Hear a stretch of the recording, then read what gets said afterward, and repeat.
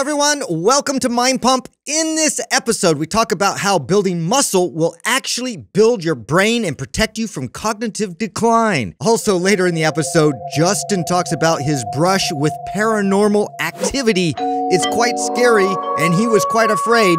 Stay tuned to find out about that. In the second half of this episode, the guys coach four live callers on questions such as What can I do to get stronger at the squat? What is the number one thing I can do in the gym to help me with all of my fitness goals? And finally, I have a high stress life. How should I best be training to get the maximum results? Finally, are you interested in specific topics such as how to lose fat, how to build muscle, how to get a better night's sleep? Well, we have the answer for you over at our Mind Pump Clips channel, where we have short clips that will go into details on all those topics and more. Go over, subscribe, and enjoy. All right, here comes the show. Probably the best thing you could do to have a healthy brain is to have healthy muscles. In other words, healthy muscles equal healthy brain. I like that. Yes. So cool uh, study came out. Uh, it was an analysis of many studies, right? So I love this, right? When they look at lots of different studies and they look at uh, what each of the studies say or whatever. And, and Do you think that should be a a standard, like as far as before you you take like a uh, a study and run with it and like, oh, this is this is fact or this is how we should we should we should go in this direction.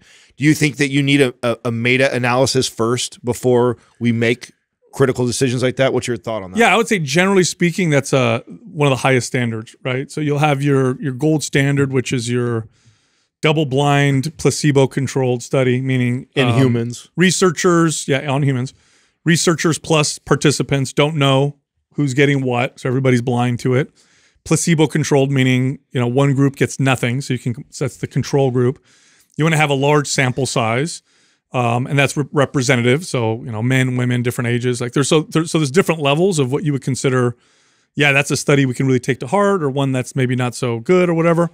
But then you have analysis of multiple studies, Right. uh, where that's probably the highest standard where you're looking and seeing the most truth. And I, I do want to say that this, you know, this particular study looked at all these different studies echoes what um, other studies have, have seen, observational studies have seen, other data kind of points to. But what this what it said was essentially they compared multiple forms of exercise. Okay. So cardiovascular exercise, walking, swimming, biking, strength training. And they looked at the results on cognitive health, um, in particular at preventing cognitive decline.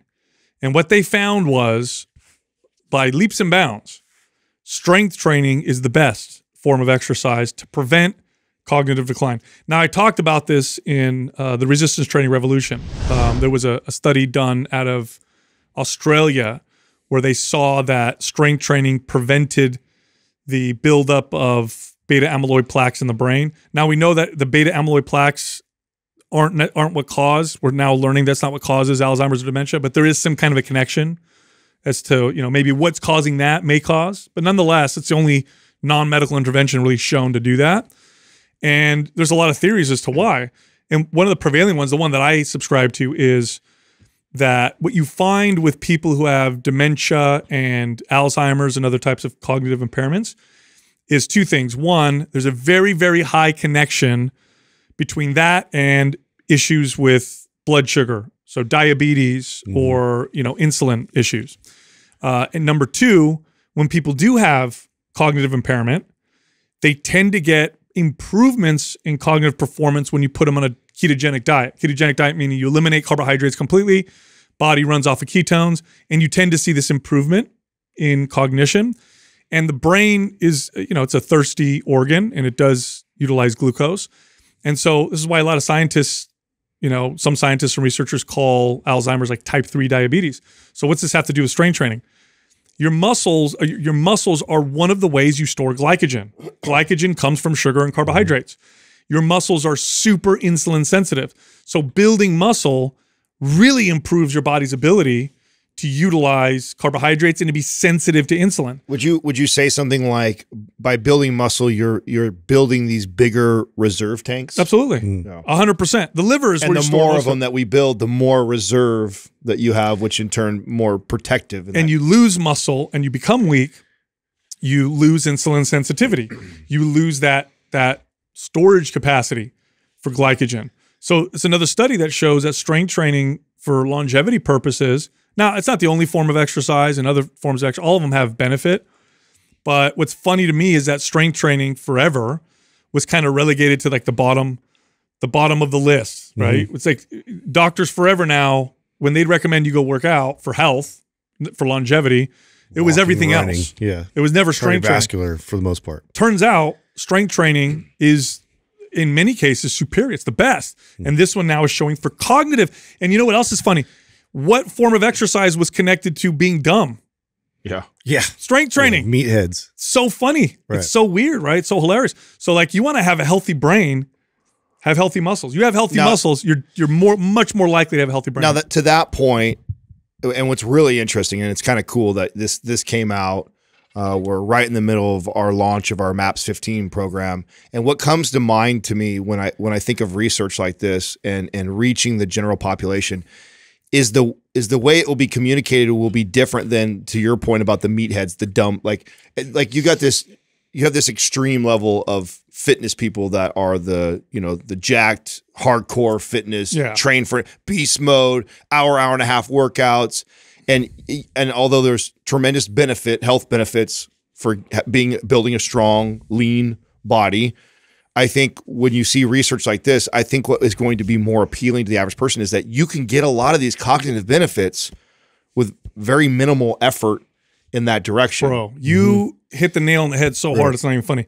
The the one of the, the the hallmarks of strength training one of the things that makes it so valuable is how little time you need to spend doing it to get this huge result. No other form of exercise will show health and longevity benefits that are exponentially larger than the time being spent so they, they'll do studies well they'll have somebody there was a recent one that we talked about on the podcast where people did one eccentric loaded movement a day on their biceps and they saw significant strength and muscle gains. Now, are you going to look like a bodybuilder or a physique competitor doing that? No. Mm-hmm. But for longevity purposes, literally, here's how I predict it's going to be communicated. And I really hope we can save this clip because I love nothing more. You guys know this. I love telling people I told you so. We, we love, yeah, future predictions. It's my most annoying trait, but I enjoy doing it. It's uh, they're going to communicate this to people. Uh, do uh, one or two strength training movements a day. That's what they're going to tell people. Because the the benefits of strength training have nothing to do with the calories being burned while you're doing it. It's all about the adaptation that it triggers, and it really doesn't take much to cause those adaptations. So if somebody did, you know, like MAPS 15, right? You did 15 minutes a day. Uh, that's uh, 105 minutes a week, right? So that's roughly two 50 minute workouts a week if you were to take devote to, Right, to- right. 15 minutes a day. Even if you did 10 minutes a day, Right. 10 minutes is 70 minutes.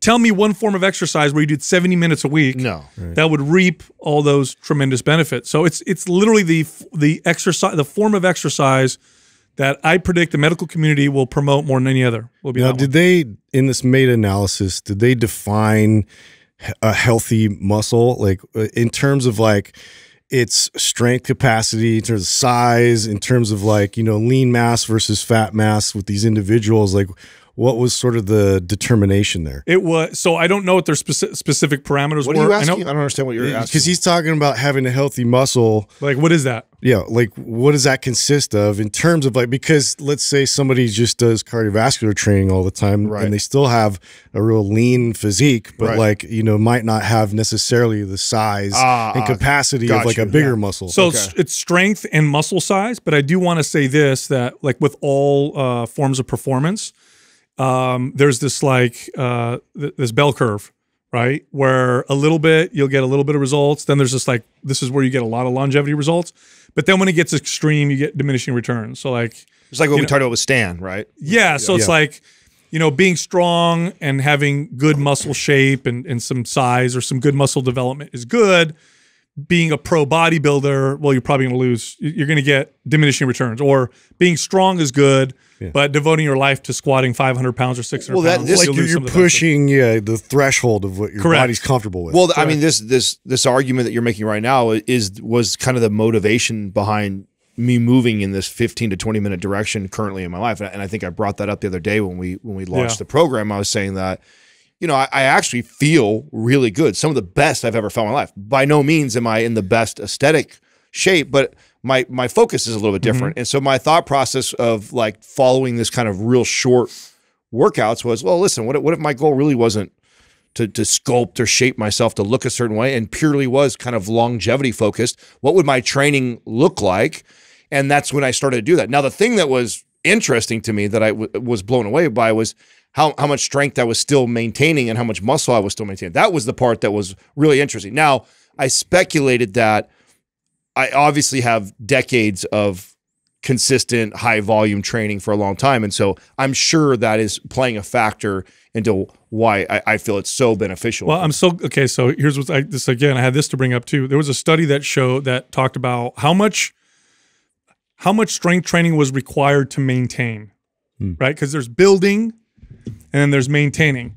And uh, one of the again another another great uh, factor or characteristic of strength training is that in other forms of exercise don't offer this. That you know if you build a certain amount of muscle and strength, it doesn't take a lot to keep it. Other forms of exercise, you, if you cut down, you'll lose a lot of performance. You'll lose a lot of the health benefits at some point, right? Yeah.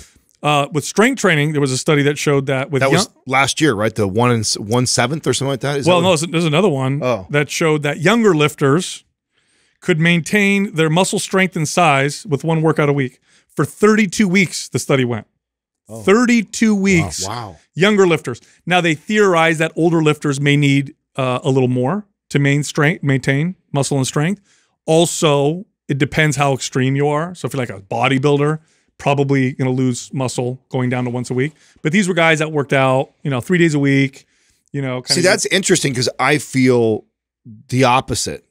I feel This that, is speculation. I agree with you. Yeah, I think I- the older you get, the easier it is to keep. That's what I yeah, think. I, I, I, think that Or should I say, the longer you had that muscle, the easier it is to keep. Yeah, like because I remember uh, in my early twenties having you know these bouts of you know say weeks in a row, maybe even I've had some uh, I think times in my life, or maybe I even went a couple months of like inconsistently or not training, and uh, I felt like I lost a lot of it, and then trying to get it back uh, took a lot of work. Where I'm at now.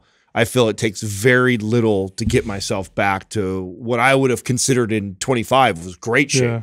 when I worked really, really hard and consistently to build in my mid 20s, I feel like little effort towards training and some tightening up the diet, and I can I can build that physique. You know, there's another factor there too, Adam. Is um is that a lot of people when they stop working out or they work out less, their diet tends to change quite a bit. So there's that role that's, That's- being yeah, played. so like, a- you- that's a like, oh. I'm not lifting weights. I'm gonna, my protein intake's going to go down and stuff like that. So that'll that'll kind of you know play play a role. But yeah, this is just another study that shows that once you build, because I mean, God, I used to hate this question that I would get from new members. I thought it was so silly, but I get it. Like, you guys ever have new members come up to you and be like, "Yeah, but once I build it, what happens when I stop working out?" And you look at them like, "What the hell is that?" Obviously, you're gonna lose whatever. But I get it, right? I get what, why people are saying that yeah, um, strength training, I mean, nothing's permanent, but it's one of the most permanent forms of exercise when it comes to certain results. What you'll lose if you go from training four days a week to one day a week, you'll keep a lot or most of the muscle and strength. What you'll lose is probably work capacity. You'll lose some stamina. Like you go from one day a week back to four, you'll probably get sore. You know, you'll probably not have as much st- stamina and endurance go real fast. Yeah. Strength sticks around for a little while. So when you add all that up, like I'm telling you right now, we're like maybe five to 10 years away from the medical community literally being like, hey, you, you go do like two or three strength training exercises a day. That's what we want you to do. How easy that going to be for the average person, by the way? What's up, everybody? Here's the giveaway. Maps 15 Minutes, the brand new program we just launched. You can get it for free. Here's how you win. Leave a comment below in the first 24 hours that we drop this episode. Subscribe to this channel. Turn on notifications. Do all of those things. If we like your comment, we'll notify you in the comment section. That's the only place we're going to notify you if you win. and you'll get free access to Maps 15 minutes. Now, everybody else, this is still in the launch phase. There's two days left for the sale and the free giveaway. So if you want to sign up for Maps 15, if you do it in the next 48 hours, you get it for $20 off. Plus, you get two free ebooks The Power of Sleep and the Occlusion Training Guide. Oh, and by the way, we threw in a bonus advanced version for those of you that want to do a daily short barbell free weight based workout. So that's all in there. Again, over the next 48 hours. After that, it ends, goes up in price. You don't get the ebooks and all the free stuff. Anyway, if you're interested, go to maps15minutes.com and then use the coupon code 15 special for the discount and the free giveaways. All right, here comes the show. We just did an episode right on on our new program Maps 15, which is 15 minutes a day. And then what we did is we included an advanced version because for some people, you know, 20, 25 minutes is more appropriate. People have been working on a long time. Already starting controversy, and I knew this would happen. you would get all the hardcore lifters. "Well, You can't do that. That's not going to do anything. That's whatever." really where it's going to come from, right? Yeah. Everybody that's like married to this idea that you have to be in the gym for an hour, like every single day. Uh, and, you know, to reduce that down to what we're talking about, it's like blasphemy. Yeah, well, you know what it is? They've done more damage than good because of their. Okay, so I'll tell you guys. i'll tell you some stories about when I first became a trainer that I know you guys did the same thing. I know this.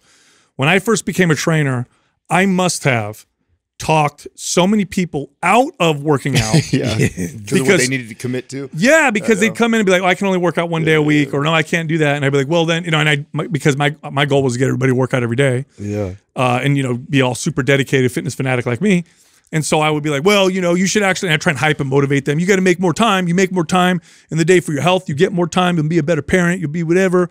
Everybody has the same 24 hours in a day. I do this whole speech, and I would end up talking people out of it because they'd come in being like, you know, I'm just going to do like one day a week to start. And then after I told them all this shit, they'd be like, well, I'm, why am I one day a week's not? It's not going to do anything for me. I'm just not going to do anything. So I think we've done more damage than good. So these meatheads and you know these fitness fanatics that that are debating this, it's like, listen, you're not helping anybody. By the way, look, I don't need to tell the fanatical fitness person. I don't need to convince them to work out 20 minutes a day. They're going to do more than You're they gonna need do to. whatever you're going to do anyway. Yeah, in fact, I need to convince them to not overtrain so much. Yeah. I'm talking to the average person who follows this pattern of You're talking about on, the other. off, you're talking off. about the other 85 percent of the world. yeah, or more. yeah, the majority, bro. yeah. No, I've always. I mean, we've said this since the beginning that that was the, uh, you know, the bone we had to pick with the the fitness space was just that. You know, we've been communicating to ourselves for, for so, So- for so long. You know, all fighting over the latest studies and who's on the who's on the most recent cutting edge shit. Meanwhile, losing a majority of the population because the majority of the people don't think that's for them. That they don't. They see that, Yep. and and there's there's a there is a sliver of people that see that and aspire and wish they could be that way.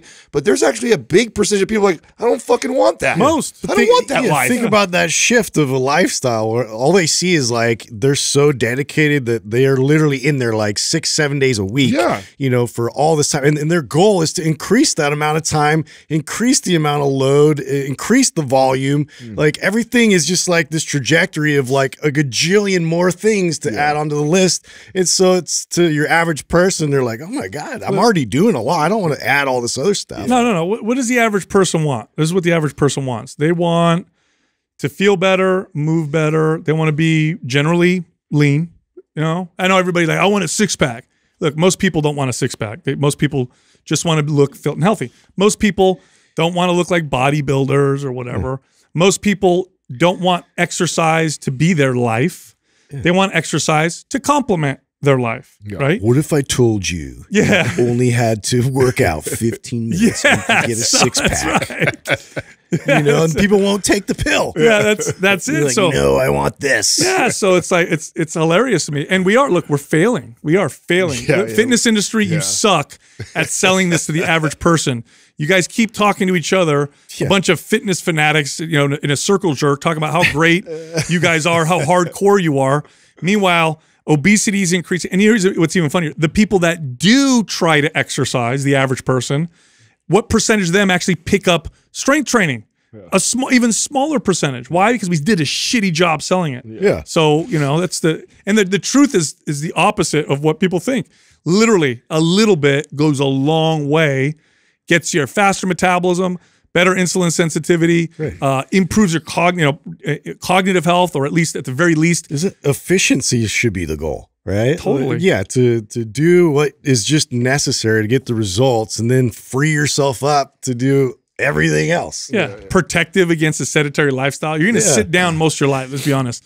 You know, light jobs are all sedentary. Like, you have some muscle. That'll that'll protect you. Yeah. yeah, it's funny. So I have a, a, a funny story for our, our Caldera commercial uh, today. So I'm talking to Katrina. This has actually just happened like maybe two, three days ago. And Katrina gets this call from her old VP that used to work for JJ Albanese. So Katrina used to work for a big construction company, one of the largest construction companies in the Bay Area. Uh, you know, and, and just a bunch of old rugged dudes. She fit right into that group. I mean, you guys know her personality and stuff, and so they absolutely loved her, and they continue to still talk to her and check up on her. And she hadn't heard from this VP in quite some time. And he sent a text message like, "Oh my God, Adam's famous." She's like, "What?" Like they just so figured that yeah, out. so he's like, "Call me." And so she she calls him and stuff like that. Hey, how you doing? I haven't talked to you forever, and they catch up. He's like, "I'm on." I think I don't know if he was watching TV or he was on his on one of his you know iPads or phones or like that. And I guess he got a, a, a Caldera commercial. I guess I guess he's into face serum. Obviously, like he got targeted. which I thought that part was funny when she told me that. So obviously is he's into construction. yeah, I know dude. he's a, I know he's a rugged construction guy, but he obviously cares about his skin because he got targeted by Caldera somehow. But yeah, Yeah. I guess the feed popped like, up and I'm it was hard, but I'm also It was- youthful. Yeah, it was our our commercial. I think that we we- Hard muscle, soft face. we it. did for them. He's so. like Adam's famous, and he looks amazing. Did you see that they came out? Yeah. Okay, so I'm we, listening. so we just got this uh, their eye serum. I haven't tried it yet. This new thing for the eyes. Doug So I will be guess- all over that right away. Well, I mean, I've already used it. oh, you did oh, you already? have, Huh? yeah. look, look at Doug's this eyes right now. I know. You might have used too much, Doug. You look like a baby right now. Yeah. You're going backwards. I'm actually uh, I'm actually excited to use it because I feel like that's what I around my eyes is where I notice them. When I look back at pictures and I compare to That's like, like, now- the old, yeah, that happens to everybody. You get these little bags and like I even noticed that you guys notice like like it it day to day it fluctuates like a good night's rest and Oh like, yeah. like I, I, I can I never noticed that before Yeah. like literally this is new to me this is like new in the last year or two I like see like I can look 10 years older or younger by how I slept and how my, my, my Yeah. around my eyes look dude I never noticed Dude. that you know what I'm saying I'm never like I oh squint my God, so like, dude. much, I guarantee I'm gonna have like like just wrinkles, just right here, just Yeah, but you'll look you'll look distinguished though. You know what I mean? Yeah. Look at that. Yeah. Look at that face. Anyway, well, they're doing a good job. Obviously, I like how they're putting us out. You know what I mean on their commercial. yeah. It's good for our uh, our uh, what is that exposure? Yeah. well, this is now the second or the third one. A, a Vuori one happened last time. Caldera, there was another one where random people that are connected to Katrina and I have now made this connection like, oh my God, Mind Pump is huge Mm. because I seen him on like a stupid ad. Mm-hmm. I'm like, so yeah. funny to me. Oh, that's what it was. It was a text message I got from Vuori. Somebody being like, oh my God, you guys are so big. I'm like, we've been working, we were working with Vuori like damn near five years ago. it's like, but because they put us out on ads, now random dude. people are Dude, seeing it. speaking of you, the the the what was that? The IG live you did? Oh, with Chris. Nagir, uh, how do you say his name? You, Naghibi. Naghibi. Yeah. Wow, great job. Did you like What- it? What a great. You're not blowing smoke on my ass. No, first off, if you sucked, I would be. I know. I do feel that tell way. I actually, I actually told Chris you that suck. because What do you Chris, he, Chris was messaging me. You didn't watch it, did you watch it? Or I no? watched. I was on. I hopped on and off a bunch of times. Oh, you did. Okay, you you were going to talk shit. You, did you see me on there? I was, No, like, I know talking better than shit. I know, dude. If I'm ta- if I'm like Oh, business, that's I why I can't, was I, like, yeah, uh, I can't pay attention to you know. fucks I because I, know you guys are figured- trying to throw me off. I you was know, so- totally trying to. Hey, people don't even know this. Half the time I'll be on an interview because I do a lot of interviews, and Adam will be at the window over there, and he'll be flashing me his butt cheeks, and Yeah. like that, trying, all the time. trying to get me Yeah. to crack. Yeah.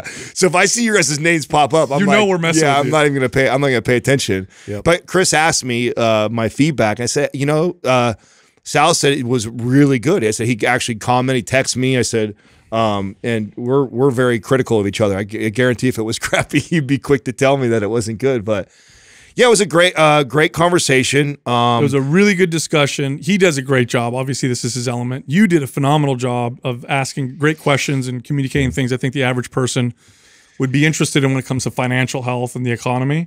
Really valuable, a lot of valuable takeaway. I think sometimes when you listen to uh, finance podcasts or stuff like that, it gets it gets to a point where it's a little it's not high level is the wrong word. It's communicated a way where the average person's like, huh? you lose me. Yeah, you lost me, or I'm not It was interested. just boring.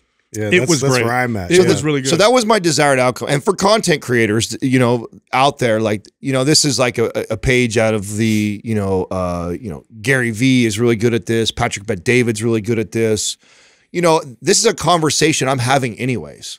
And so this is what really inspired me to do. It's like, you know what?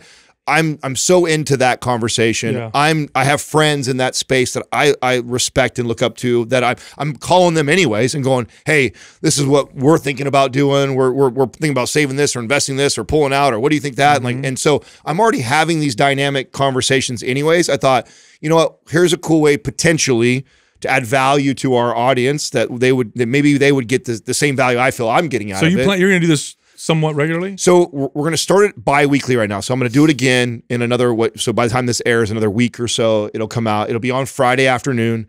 I will leave it live for 24 hours and then I'll pull it down. And the the, the reason for that because people oh just leave it up there forever. Well, one I don't want it on my wall. My wall's for me and my pictures and my family and stuff. So I don't want it's a business thing. I'm going to put it up there and it's if it continues to do as well as it did and it grows, then it may turn into something. You know, maybe we turn it into I like think we should have him on the show. yeah. He's really, really good at Oh, he'd love that. I mean, I- some of that stuff. Super smart guy, but he does it. He, he communicates it in a very, very good way, which You- is so important. do you know that I do you know how like you know he got inspired by what we did in the fitness space, right? So he found us like six years ago. I didn't know that. Oh yeah, you didn't know that. So No. he he's been he's been following us since Shreds days.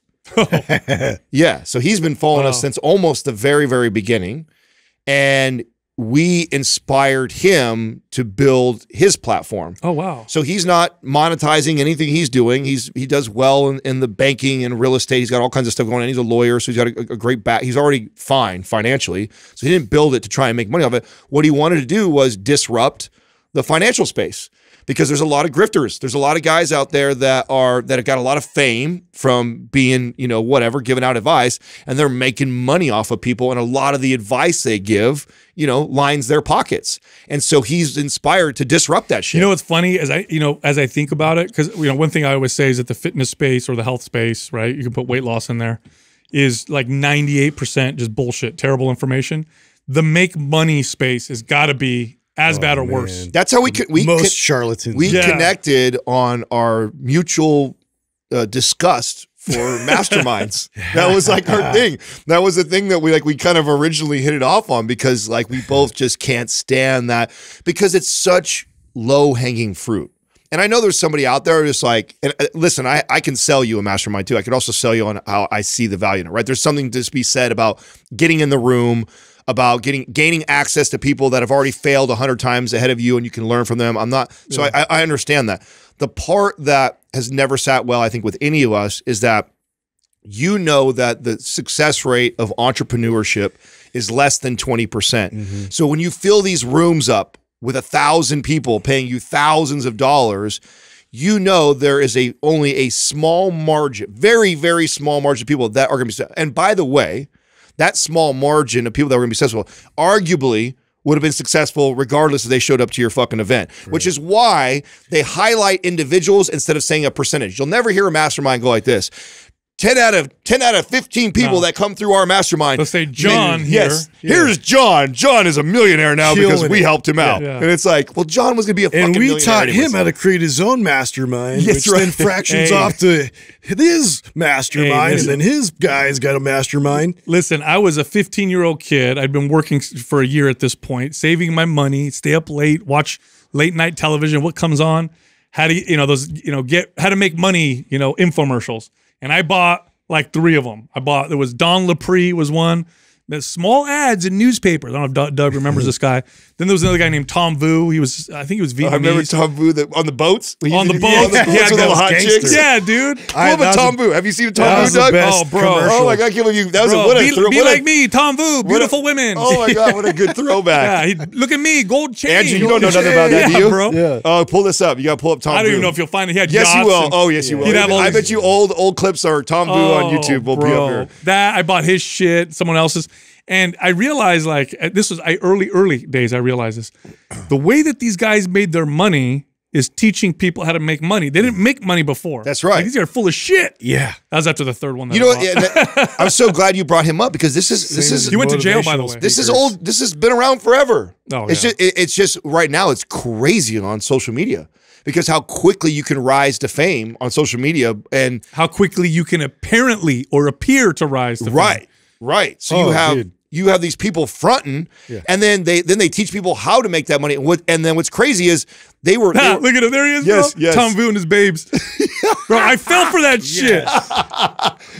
I was poor. Now Would you- look at hey, me. That's now, okay, would you say, would you say he's the OG of doing that? No. Like who who did It was it a before? Wolf of Wall Street guy. What was his name again? Oh no, but oh, he, he's he did Tom make Vu's older than that. Yeah. He's older than that. Oh yeah, he this is way this is like 80s, dude. Bro, Tom Vu, he first he would say shit like like look at me, I used to be poor. Now look, beautiful women. Yeah. Lots of Who did it before him? Ah, I eat steak and potato every night. You know, he'd say shit like that. Yes. You're like, what? Yes. Oh my god. who did, who did it before him? Do you know? Do you know Doug? Who? who I don't know. Bro, this has been around forever. He, but he's one of the, I mean- the OGs. And he would do the same thing. He'd have people who who apparently made all their money Yeah. because of him. Yeah. And they'd show a picture of their but look at this commercial. He, there he is on a yacht. he was Dan Bilzerian before Dan Bilzerian. He's got, he's got five girls in bikinis surrounding him. You know? yeah. He It's went to funny. jail. It's funny you bring this up because like I was having a conversation with my sister in law recently. She's doing content too because she's a, an attorney to to be able to kind of repurpose it and, and sell ways to like you know for for divorce secrets kind of thing.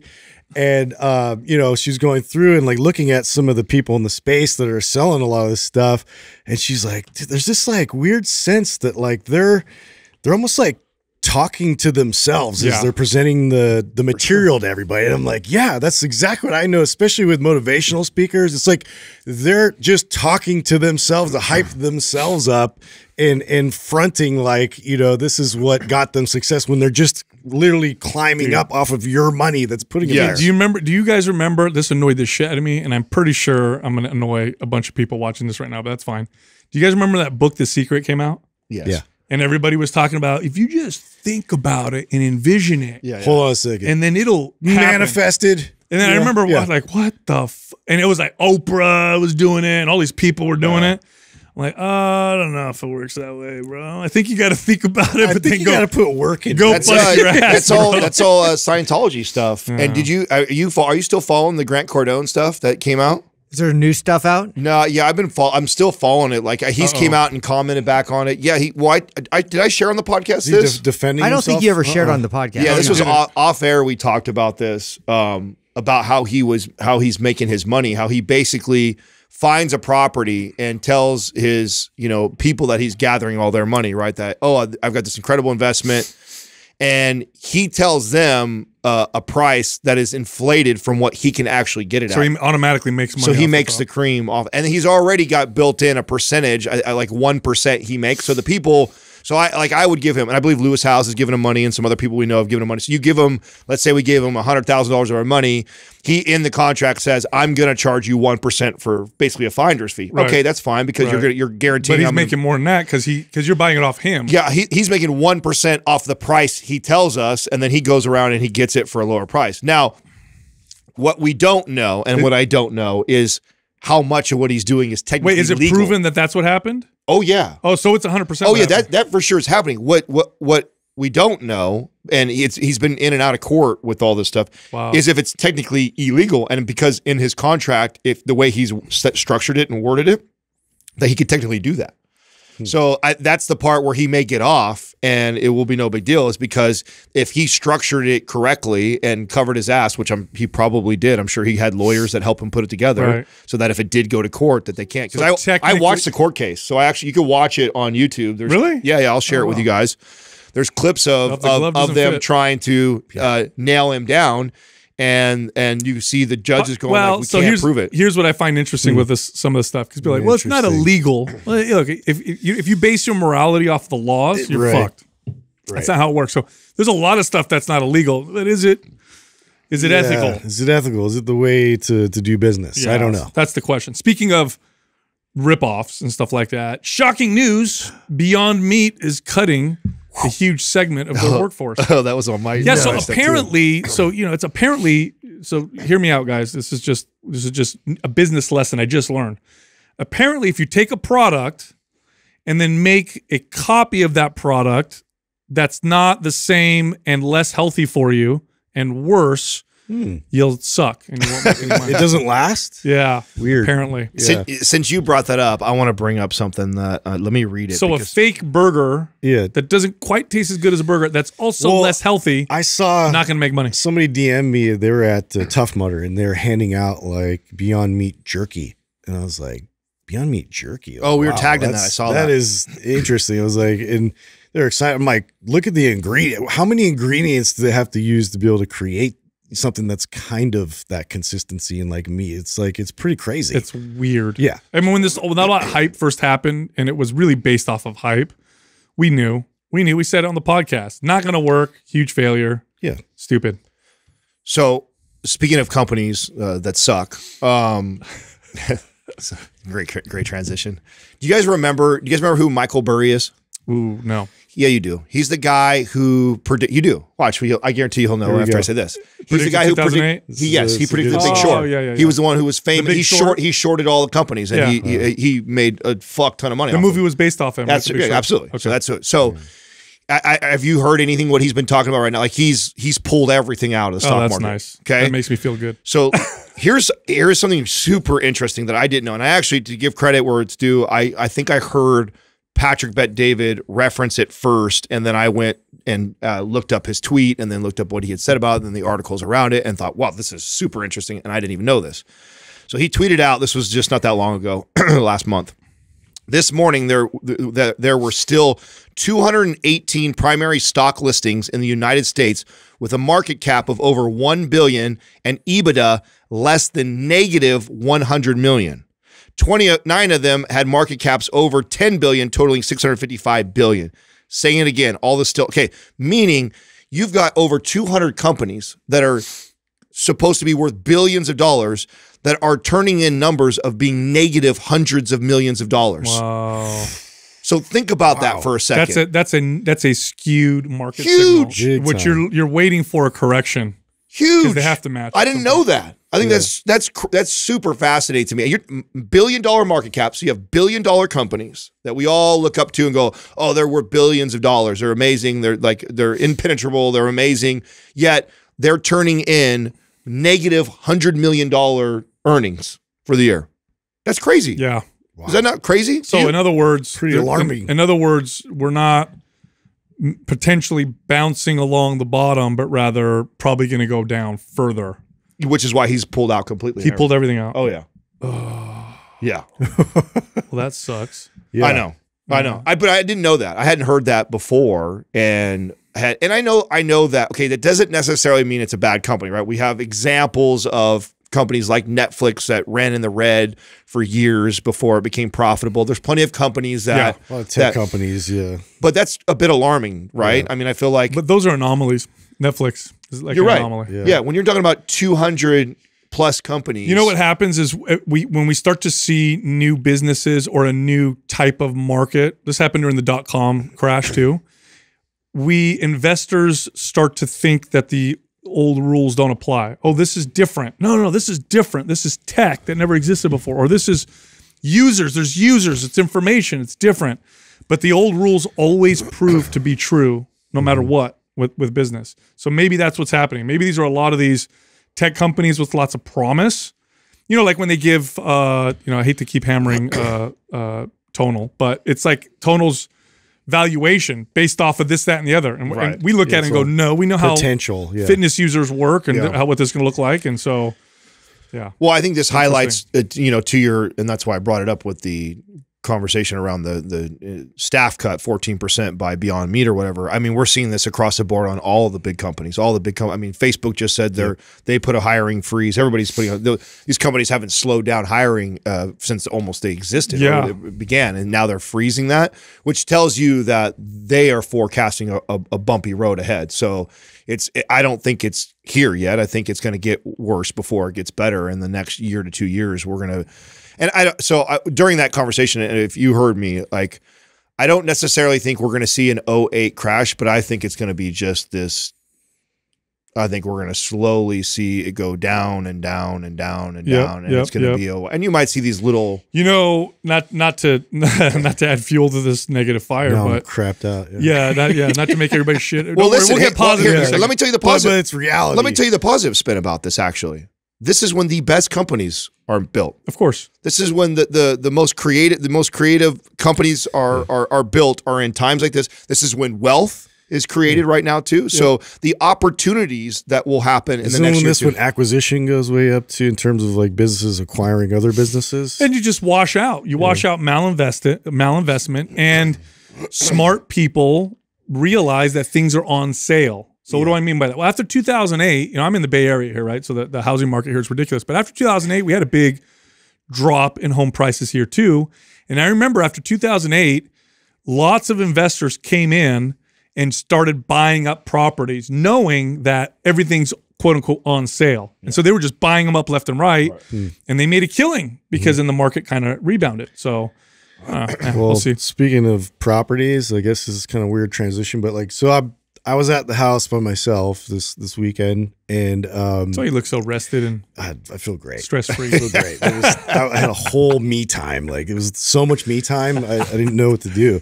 Uh, and so I was like watching TV, and you guys know my history of the house having like certain issues in terms of like spiritual things and More? haunting Oh my God. things. And Is there more ghost stuff? So there's one, yeah. So okay, so I was sitting on the couch and um the dogs were with me and, and Courtney and the kids are gone.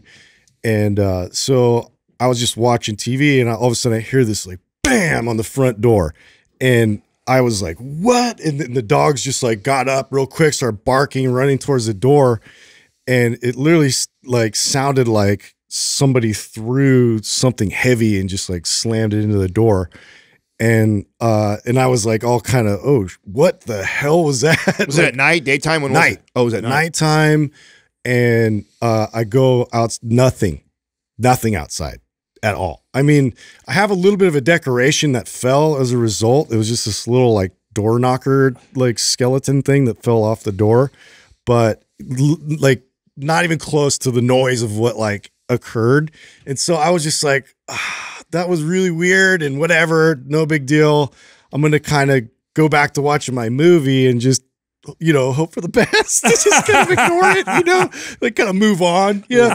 And then it just kept like getting at me. I'm like, oh, like, like that was so creepy. Like, what was that? Like, and so I text Courtney because we have that ring camera. Yeah. I'm like, maybe she caught something, you know. Oh on- shit! on the ring camera and so she was like what uh, so she checked it out and was like I, I was waiting i'm like what was it and uh, so it turns out we have this dog uh, next door that comes to hang out with our dogs all the time just randomly and he just like beelined it to the front door hit his paws on and knocked like all the decorations down and then just bolted and like left Really, yeah, for no reason, bro? That's Bro, you Scared got- the shit out of me. so so good, so good that you had ring though. Bro, you got doorbell. Oh, you got doorbell dished by a dog. He's laughing. he, like, he like shits on the so random. Oh, like no, I that wouldn't even that wouldn't too. even cross my mind. Is that like that was a thing? A that dog came and, ba- Yeah, and like why did he do that, dude? And like he So- freaked everybody Okay, out. So have you guys? So have you guys noticed this? This is a dad thing. This is such a dad thing. I hope because maybe it's just me, but I hope it's not, it's not just me. If I'm home and my kids or my or my wife or everybody's home and I hear a noise, I go into Vigilant mode. aggressive, protective mode, Yeah. fearless, You- whatever's there. You're by It's just yourself. kat- yeah, you're by katana yourself. You're scared. When I'm by myself, bro, That's the truth though. because you don't gotta that's help true. I'm like, I'm That's like, I'm gonna ignore it. What is know? that? Like, What that's is like- what is that? I mean, there, there's hundred percent that's true. Hundred percent. You're by yourself, And you're my like, kid, if my oh, kid's there, shit. my wife is there. I am fucking dad mode. Right. I'm looking for a knife. I'm looking for something. Yeah, you know what no I'm saying? fear. Like, and I'm going towards the sound. I'm by myself. I'm like pretending it didn't Yeah. happen. Like, Hi- oh yeah, ch- tell, talking to yourself. Like, oh, that didn't happen. Yeah. Yeah, Hide under like, the I'm exaggerating something. You know, like it wasn't that bad. What a It was weird phenomenon that is. Isn't that funny? That is a weird phenomenon. It's so if I'm by myself and I hear weird noises and shit, Yeah, yeah. I start to get scared. Yeah, when I I got the think kids, to go grab yeah, Yeah, any kind of weapon or nothing. I was No. just, just like just Is that when you on the couch? Is I that when you texted us? You want to come over? Yeah. Hey, Sal, you just want to hang out? Can I come over your house real quick? Please. hey, how about how about our uh, our experience on Friday of trying to do a, uh, our first uh, what's Riverside call? Oh, our our our distance Shit podcast. show. You know what's weird Hey, about that? Yeah. What's weird about that is the is the, the, the, the producer had the hardest. The guy who knows how to do this the most and all the It's all right, Doug. I had my issues too. Yeah. yeah, Sal and I were good to go. Fuck the one guy that was that for sure. I know you guys. If we put a bet, money in a hat, Yeah. who would not figure this out? It would be me. Dude, it's I was irony, good. bro. I was good. 100%. I know. Yeah. That's just how that goes. Look at Doug. Yeah. Doesn't know what to say. it's like no comment. It's like it's like Doug showing us Well, how to work out. You know what's yeah, what's funny about that is I totally motivated. I went and like got a bunch of stuff to like stands and like all these things to try and like get myself really set up because Oh, like yeah. that irritates me, dude. Like if I'm not like in a good place with technology, Yeah. like it eats at me. And so and then on top of that, I went and got a bunch of music stuff and was just down there like What'd you get? getting loud and crazy. You and Doug blowing some money this yeah, I weekend, just huh? I, w- I don't know what I, I just I got like this crazy spark and I was like I'm just gonna do it because I need some like creative juice and it was like I left and was like I had that like buyer's remorse like immediately but then I put it to action and I was like oh my god it was so great it was so much creativity and now like everybody's back and I can't get loud Good for you guys. I never hear either one of you guys blow money. that was like the first time You guys dude. never, you never, you guys never just go let Yeah. loose. And I blow still money. feel a little Ugh, about it Oh my Yeah, god, yeah. dude, you're funny. totally dude Yeah. Well, Doug came in today with his Louis Vuitton purse. I was like, what do you- "That's nice, bro." blingy It matches my real jacket. Doug is time. bougie like that Yeah. for sure. Dude, I got I got to say this right. So this happened again to me this weekend. Had a, had a rough weekend. I'll tell you guys. um, I'll tell the audience why in just a second. But uh, I needed something to eat or whatever, and you know when shit stressful stuff happens, I forget to eat or whatever. So I went into Whole Foods, grabbed uh, just some plant protein that they had. And you know, plant protein is disgusting. Always, every time, It's gross. terrible. It tastes like grass clippings. Yeah. I don't care how they flavor it. It's gross. Which makes me appreciate Organifi even more. Well, I remember it was the big. It was one of the big selling points. I don't know for what us. they do to their plant protein. It's all their it- product, all their products, dude. Yeah, it's all their products are fire. They take they they did such But no good, artificial sweeteners I know, either. I know. Yeah. They did they did such a good job of of making all their products taste good and they're and the, and it's good Because of all the proteins you can buy, plant protein is almost always the most disgusting. Yeah, and you it's can tell. I mean, a lot of them I tried had like heavy on the soy. There was a lot of soy in a lot of the other vet, like ones I No, tried. Organifi doesn't use soy. Yeah, that's what I mean. Yeah, no, they yeah, don't. They, don't. No, which which you know, there's There's controversies. con- to- I mean, yeah, like I just don't. Pre- I just prefer not. if to you have if you, you know what they even say for pregnant women, to that soy is okay, but not to go too heavy yeah on it's- soy. it's, like an excess. because of the phytoestrogens Mm-hmm. because there's potential that there there could be a, a, a very mild and weak yet you know estrogenic effect from the soy anyway what ha- so this weekend you know um uh, and maybe what we maybe we have to edit this out because i don't know I'll, I'll see if i can talk about it but so my grandfather passed away this weekend uh, 91 years old and uh really really tough for for you know thing for the family he's uh you know you guys you know i talked Yeah. about him turning 90 a year ago and it was kind of a big deal. But anyway you know it makes you think a lot about certain things and um you know it's really crazy. I was having this conversation with jessica. So my grandfather man when i it, we're all together. So my, my whole family just convened together. We're all at my aunt's house. It was like at any given moment 30 40 people there and we're going to have people flying in from italy and israel. He's got family in florida chicago new york. So a lot of people are going to be coming in and you know we just start you know you start telling stories typically what happens if you ever lost somebody it's usually the conversations start to revolve around stories and stuff and um man what a what a crazy life you know my grandfather um when he was a he was a boy so this is your mom's side. this is my mom's dad. Uh, 11, maybe 11 years old, 12 years old. He, they were so poor that he used to hop on trains in Sicily, no ticket, so he'd have to sneak on trains to go to other towns to find ways to make money to bring back to uh, his mom. So he would be gone for two, three days. You're a young boy Yeah. doing that kind of stuff. Then he gets married. He marries my grandmother. She he was 19. She was 16. They get married. She gets pregnant and he again the Sicily during that time was very very and they were poor and Sicily was very poor especially. So he went to Venezuela of all places. I think he he you know he, he heard. Now, what's crazy about this? Uh, my cousin and I were talking about this. I couldn't imagine today with the technology that we have, Google, internet, you know, translating, whatever. Imagine going to another country. You don't speak anything. You don't know. You don't know oh, anybody. Crazy, crazy. And you got to figure it out. You just got to figure it out. You got to hustle, right? That's what he did. He took a boat, went to Venezuela, lived there for two years, slept on a dirt floor, and would send money back to my grandmother. Went back to Sicily. Uh, she got pregnant, had my mom, could still couldn't find work. Again, it was bad. Went back to Venezuela, did it again, then asked then had my grandmother come back on a, on a ship and just figured out how to make his way in this country. And what's you know, my grandfather, uh, just a very unique, um, just a tough, unique individual, um, very loving to his grandkids.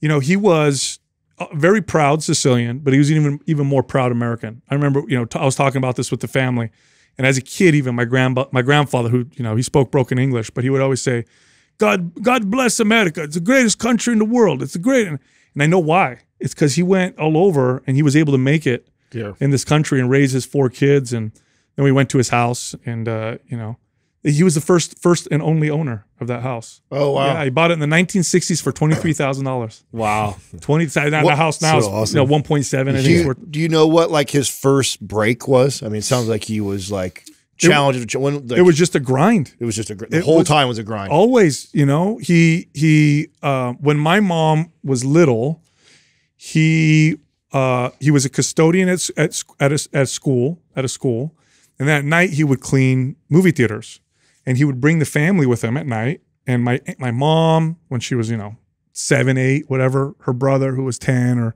my grandma, they would help clean movie theaters till midnight. And then oh. he'd go home, and then he'd work in the school, and then he'd come back, pick him up, bring him back, and they so he could spend time with them, wow. basically. Wow. And they clean movie theaters every single night. Wow. Yeah, it's Was it- that here in San Jose? Like San Jose, Oh wow. yeah. Like the centuries or what? Do you remember? Yeah, Oh, wait, were- yeah, the centuries, old centuries, the old huh? ones. Oh, no know? shit. I think he did. Uh, I think he would clean. I think the centuries, and I think maybe even the drive-ins. He would do the park. I don't know, but really interesting. And and also, you know, another thing too. We were talking about my. He was so proud of his garden. So he has a regular house, right, track house, and I mean fruit trees and vegetables. All he planted, every single one. And my grandfather was so proud of those things, and it makes sense when you realize how he grew up. To have your own tree that bore fruit, it's a big deal to my grandfather. So, I mean, you know, that's how he passed away. He went to his house against his kids' wishes. And uh, no, if you know my grandfather, you know, you can't tell him Yeah, there's no talking about what to do. Yeah. He's a grown man, so he's 91 years old. Right. I think it's funny when people, you know, think that they can control, uh, you know, somebody that age or whatever. He was sharp of mind too, so it wasn't like you know you had to control him because he he was sharp. Yeah. But uh, he went home and you know he was doing his gardening or whatever and blowing that you know doing blowing the leaves and tending to his stuff and we could see if he had the you know ring camera or whatever. But you know he died in his home, how he always wanted to go. So very very tough time, but the families all together and um, you know my grandfather for the last God, at least the last six or seven years, when he when we would get together, he'd tell me that um, you know he wants me to say. He always say, you know, Salvatore, when I die, I want you to say something nice about me. And he goes, and I want my grandsons to carry me. I want to make sure my grandsons carry me all the way. He's got seven grandsons, so Oh wow. we're all gonna. You be sent there. that picture of all of you guys. That was all, all, all seven. That's the that's the grandsons, yeah. Yeah, Just yeah. the but he had, I think, thirteen grandsons and I think sixteen great grandchildren, if I'm not mistaken. Wow. If I'm not mistaken, legacy. Yeah. I mean, you know, it's just he started. And it's just again, it's crazy to me. I can't believe my grandma was telling stories about when she gave birth to my aunt because my aunt, my mom, my my mom's younger sister, was the first one born in this country, and uh, my grandma, neither one of them spoke English, didn't know whatever. She's like, my so my grandma's telling me this. She goes, you know, your your your your nonno took us to the to the hospital, and he, he he was speaking Spanish. So he learned Spanish because he lived in Venezuela, right, for a few years. And you know, here in, in California, if you're not going to speak English, the, the, you're more likely to find somebody who speaks Spanish. So he's trying to find somebody, talking to everybody, whatever. And and he eventually found a doctor that spoke Italian, was able to deliver Oh wow. my aunt. But that was my grandfather. He could talk. He everywhere you went, he knew somebody. Always knew somebody, and I know, and it makes sense. He had Mm-hmm. to figure out how to hustle and how to make shit happen because he knew nobody. He was here by himself with you know with my grandma. It's really crazy. So wow. Yeah, crazy story. So that'll be The um, original, yeah. that'll be a tough time, but it'll get everybody together. I know there's gonna be a lot of people show up for that. Oh, yeah. So good stuff. Hey, check this out. Want to meet us live? Want to come to Mind Pump Studios? Check out the gym and the studio where we record all the magic, the place that Justin and Adam like to hang out and do cool stuff. It's a great place. Come check us out, Mind Pump Live. It's our first live event since all that craziness happened a few years ago. I'm not going to mention it. Don't want to get taken off the internet, but you guys know it was crazy. But we're back. Go to mindpumplive.com, get yourself a ticket, show up, meet us in person, tell us why you love us. We love it. All right, here comes the rest of the show. Our first caller is Jackie from Ohio. Hey, Jackie, how can we help you? So first off, just like everybody else, I want to thank you guys because you guys have definitely given me my life back and not having to run one to two hours a day. Um, I actually gave your advice a try and definitely gave me back some of my time. So I appreciate that. But Awesome. secondly, I'd like to defend my future profession a little bit because you guys talk some shit on uh, the dentistry, dental. Uh, That was. Adam. That was Adam. Yeah. you know, we're not all out to get people. There are some bad eggs in any industry, but you know, I've been waiting. there's some bad trainers. I've been too. waiting for this. I knew somebody was going to get my ass. Dent- that was. he's uh, like, dentists are a hoax. Every single Right? one. Yeah, no. Sorry about Want that. to keep your teeth. I, Um, but I have anyways, an appointment next week, is- just so you know. Just so you know, I have an appointment Oh, next week. pre- okay, so- See, there you go. Preventive care, Yeah. just like trying to prevent problems. That's Yeah. the best way to do it, All right. For sure. All right. So, um, my question is: Is it normal for a front and a back squat to be almost equal, or is there an imbalance I should be um, addressing? I tried to address it by isolating the quads and the hamstrings on the leg extension, and then on the hamstring curl machine, which I don't use machines very often, but whenever I did that, my quads were a little bit more like stronger, which is normal, but then my quads or my hamstrings were right behind it. So I'm not sure if maybe they're too equal and I need to boost up my quad strength or where I should go from there. Yeah. Okay. So good question. So um, so two things. It's not common for a back squat and a front squat to be the same Equal, or yeah. similar, but that doesn't necessarily mean there's a quote unquote imbalance or a problem. Uh, imbalances or issues uh, tend to cause pain or tend to cause mobility issues. So unless you're feeling pain or your mobility is suffering, it's not really something that I would worry about. And I'd point to um, Olympic lifters uh, as a good example. Olympic lifters, and, and and this has a lot to do with the fact that they practice lots of front loaded squats. Many of them can front front load a squat probably more than they can back squat, or almost as much because of the way that they practice and train. So it's not necessarily an issue. It's just it's just not common. For example, it's it's more common someone can deadlift more than they can squat, but there are cases where someone can squat more than they can deadlift. So it's it's I wouldn't worry about it unless you're feeling some kind of joint issues or pain. Are you feeling anything like that, or does everything feel good? No, I definitely do mobility probably once or twice a week now and have run through Prime. Um, I haven't done Prime Pro yet, but I've done run through Prime and I did all the mobility stuff whenever I did um, performance. So I my tip my hips are typically very tight um, just because I do run still. Um, but I make sure to address that every every workout. So my my guess would be you have a pretty upright squat, and then you have a pretty strong core. How do you feel like when you squat? Do you ever feel it in your glutes, or do you always feel it in your quads?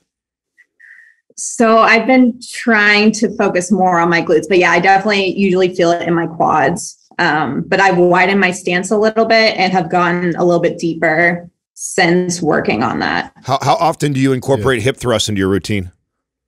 Not very. Oh, that that's you got to do that. I, I would I would take I would swap out some of your back squat sets for hip thrusts, and you'll probably develop the glute strength and the the posterior chain that may be why your front and back squat are so similar. So again, uh, it doesn't necessarily mean there's a problem here. Yeah.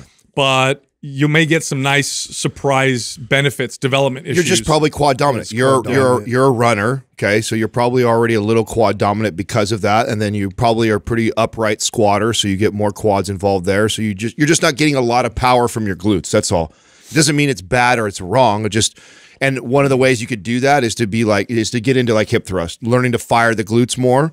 Uh, and you could do that. You could do pre-exhaust before you go into squat. So let's say you are going to do a back squat.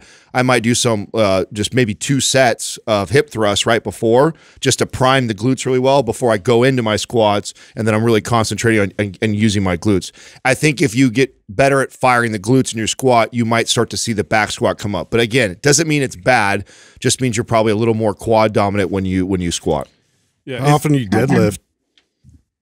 Um, at least once a week. I mean, I did with anabolic. I mean, I followed that to a T, but um, right now I'm just kind of doing my own thing. I do it at least once a week. Yeah. Yeah. yeah. I'm just wondering how often you hit the posterior chain. So, you know, that could be. Yeah, I do those in RDLs for sure. Yeah. I man, I, I tell you, I bet if you swapped out your Hip some of your sets of your back squat for hip thrusts, I Mhm. bet you would notice some pretty cool butt gains from doing that because the, the hip thrust is phenomenal. Barbell hip thrust and, and and train it for strength. You know, get the reps five to six, um, and and see what you can do there. And I bet I bet you'll see some pretty good development from that. Okay. I've also moved it from a high bar to a low bar back squat to see if that's more comfortable. Because for whatever reason, the front squat is more comfortable for me. So I'm just trying to see if maybe like the different bar positioning too will help. Yeah, no, Adam hit the nail on the head. Your your your, quads are, are are the main drivers with your with your squats. So uh, hitting, you know, changing the bar position on the back squat can help a little bit, but I think you hit the nail on the head with the with the hip thrust. I think that'll be the I think that'll be an exercise you'll benefit greatly from because it Mhm. seems like it's something that uh, you need to do more of. Okay. No, I appreciate that. Can I do a follow up question like everybody tries to do? Yeah, you can. Go for it. Sneak it in. So I know the sequence is typically anabolic, then performance, then aesthetic. And since I have been a little frustrated with, I don't hit very high numbers in terms of strength because I think I've done endurance for so long that I don't have that capacity. So would it be a good idea to go into aesthetic um, in a cut like you guys have recommended before, or um, just focus more on these hip thrusts and things like that for strength? So, well, it depends on your goal. I mean, you can do a cut or a bulk on any of our programs, but how like what's your body fat percentage at? Like what are your goals? What are you trying to accomplish? So I use the like home body scanner, so it's not accurate, but I'm at about 19% Oh. on there. Yeah, why are you trying to cut? What are you what are you trying to get down to? Why not? See where, see where it takes me. I Well- just passed board, so like I have some free time to kind of and less stress in my life, so I can kind of do more aesthetic goals now. Yeah, there's nothing wrong with that. But I, I would, I would, I mean, if you were my client and you said, "Hey, Sal, what do you think I should do?" I'd say, "Okay, if you want to cut for a little bit, we could do a few weeks of that just to see, you know, how you feel, and then I'd, I'd have you focus on a bulk at 19% body fat and and like a really, you know, kind of a small uh, surplus. So maybe five to 10% above your maintenance with your calories with hip thrusts and all that stuff. What you may actually find is your body fat percentage may not may not go up through the bulk. In fact, it might actually even go down a little. Remember, body fat percentage is a percentage of your overall body weight. So if you gained three pounds of lean body mass through a small surplus and adding hip thrust, which is an exercise that may benefit you, and you gain no body fat in the process, you have simultaneously lowered your body fat percentage because now you've got more lean body mass, same total body fat. You're actually a little leaner. So I, I- I don't mind you cutting. Just keep in mind that we're the two goals are a little conflicting, right? So if you came to me and it was like, "Hey, let's get let's get my back squat up," and I and I and we assessed, I Right. figured it out, and I said, "Oh, uh, hip thrust. Let's go build those glutes. Let's get you firing there." I would want you in, a, in at least a calorie maintenance or surplus to to reap the the greatest benefits from those hip thrusts. But then you come to me and you say you want to cut. Well, then we're not going to see the same benefits from that. You you will still see some benefits from the hip thrust, no matter what. But to, to maximize the benefits from that, I to Sal's point, you know, maybe I let you do like a two or three week cut, and then you know, so we can lean out a little bit, and then I say, all right, let's go back to a surplus, and let's really hit those hip thrusts and see what see what we can get from that. So I, I don't see anything wrong with wanting to do that. Just keep in mind that if you want to get the, the biggest benefits from the first question, I think that I would rather you be in a maintenance or a surplus most of the time, at least. No, that makes sense. I'm just trying to get because I was getting frustrated with my performance in terms of like not really increasing the weight super a, a lot. And I get like that's not the reason I work out, but I was just getting frustrated. So like maybe I'll change my mindset instead of performance to maybe aesthetics and try something else out to bring up my motivation, that sort of thing. yeah, do you have MAPS Symmetry?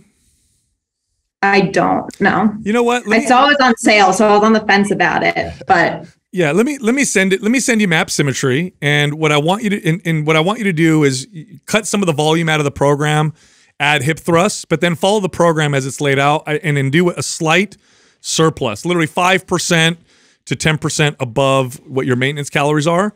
And uh, and then see what happens. I think you'd be you're going to be very pleasantly surprised with a program like that and with a, a little bit of a surplus. Okay.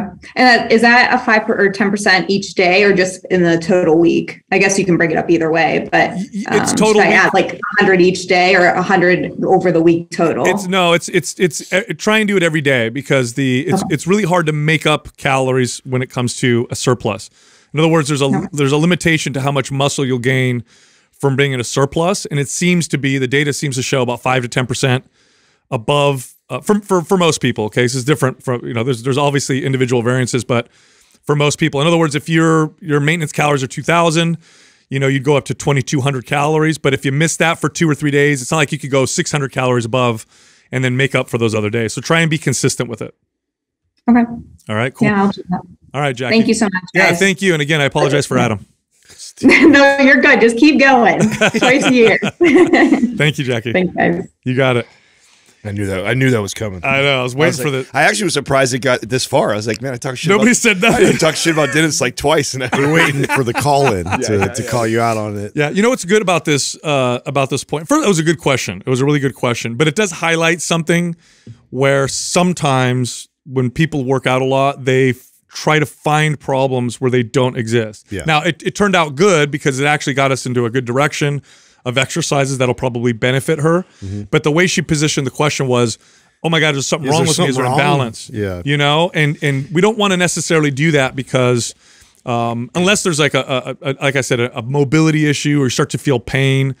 Um, Or, she's not developing certain muscles she wants Yeah. to. I I mean, I didn't. I didn't take it like she was. She thought she was necessarily doing something wrong. I think that it was a really good observation, right? I Yeah. think she she understood that you know typically it seems pretty normal to have a, a bigger back squat than a front. Mine's not. Mm-hmm. So what could it possibly be? Right, I don't right, think right. she knew how to position. Maybe how to ask it. It was really quick for Yeah, me that's to a good real- point. Yeah, she's a runner. I mean, she's a she's a runner. She probably has an upright squat. She just is quad dominant, and so she's not getting a lot of the the the benefits from her glutes, which should be the primary mover in that back squat. And so, her getting better at firing the glutes, I think, is going to Yeah, bring. very anterior driven. Yeah, I I think mean, even the back loaded squat like positioning and everything. Of course, it's going to feel better, you know, with the lower uh, position on her. but I back. love I love questions and and. Yeah, obviously she's been training for quite some time. She's in pretty good damn shape. Like, and you're trying to troubleshoot. Like, uh, how could I get better? Like, I think this is a, a, a perfect example. It doesn't sound like she's like really complaining or thinks she's something wrong with her. I think she just. I do. I do that. think though symmetry is going to be really good for her because of Yeah, the, it'll expose a lot of that for well, sure. yeah, the unilateral aspect of it. She's going to get a lot of that that glute stabilization Yep. activation with a lot of those exercises.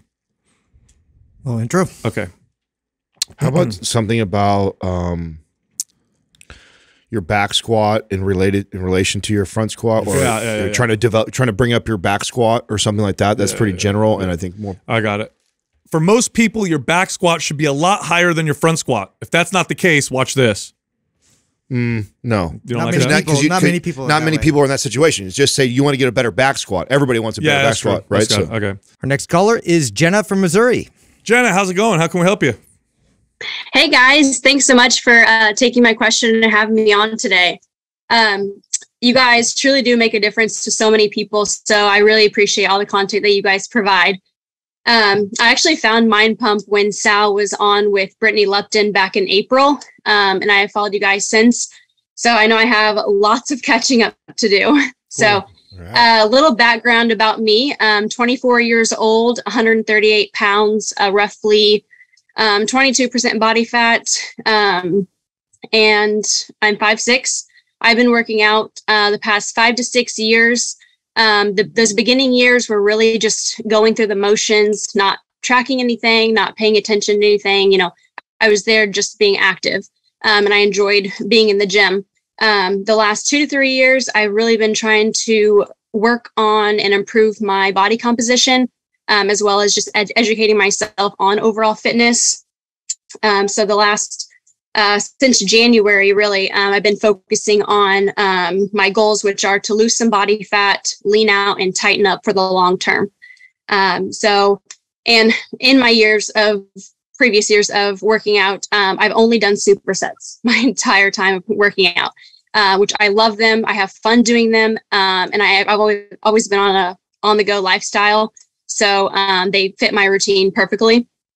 So uh, as of this past January, when I wanted to transform, um, I have never pushed myself to max out before, so I couldn't tell you where my full potential is at. Um, so, and I'm not one to buy any program or spend money, but after listening to you guys and learning what you're actually about, um, I bought anabolic and aesthetic. Um, so I'm getting ready to start those within the next week or two.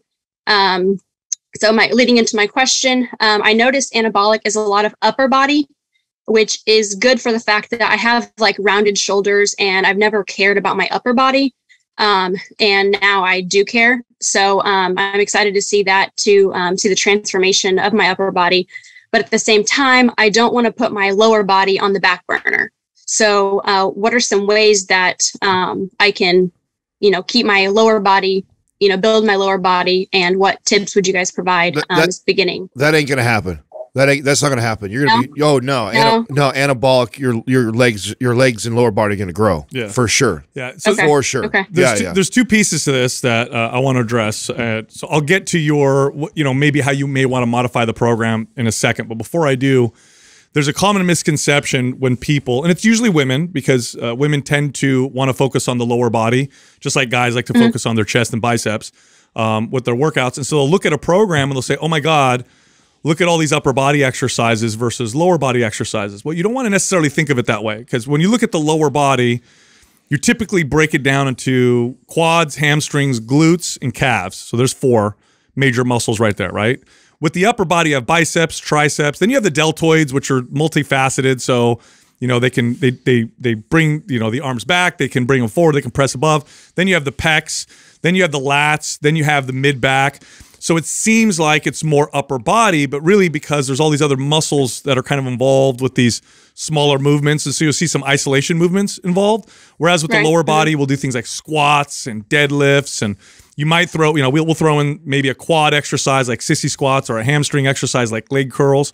So it seems that way, but in reality, um, the volume is all pretty equated. And lower body exercises really have this tremendous impact on the body. Like a barbell squats impact on the total body um, in terms of just sending a muscle building signal, in terms of the amount of damage and recovery that's required.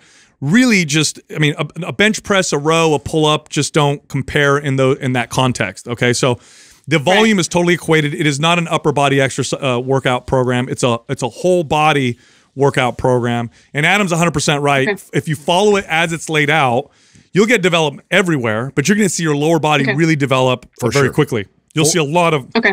strength and muscle there, especially because you you did so many supersets before. It sounds like you like that kind of fast paced type of workout. MAPS Anabolic Phase One is very strength focused, long rest in between sets. Your body's gonna respond significantly in that first phase. In fact, you're gonna see your strength go up quite a bit, especially because you've never really trained that way before. So now, in Right. terms of modification, here's what we always recommend. Um, we we create programs for the for you know a general audience.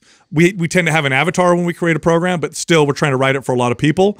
So we encourage people to modify and individualize a program only after they followed the program the way that we've written it. So once you followed Maps Anabolic the way that we've written it, once you get a good feel of what really good strength training programming feels like and what, what how your body's responding, then after that, then you can go through and start to modify and individualize and make the program, you know, really perfect for your body. But before you do that, follow it as it's laid out and kind of trust the process and see how your body responds. And then lastly, I'll add this.